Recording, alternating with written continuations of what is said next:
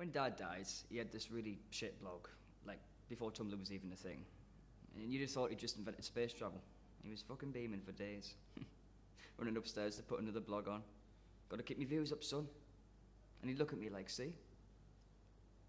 We understand each other.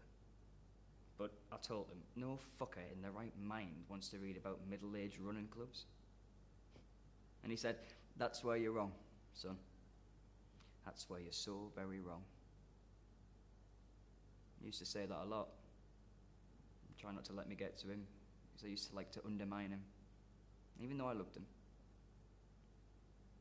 Oh, and when he signed up for the London Marathon, he attached it to his Just Giving page. It was like he'd landed on the fucking moon. Mum said it was unfair that someone that fit should just drop down dead. And then a friend said, It's always the ones you least expect. And I told her to go fuck herself. In my head. Not out loud. Because people tend to look at you when it's your dad's funeral. Scarlett did a lot of crying, which was annoying.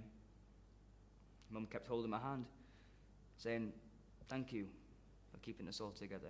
We need you to keep us all together. And that's when I decided I wasn't going to be what they needed.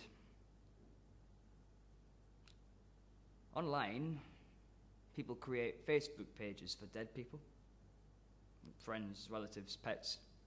And my mum wanted me to make a post on his blog, tell everyone what had happened. They're not his fucking pen pals, mum. That's not how it works. They'll just think that he gave up blogging for a bit. And then I rolled my eyes for a full stop.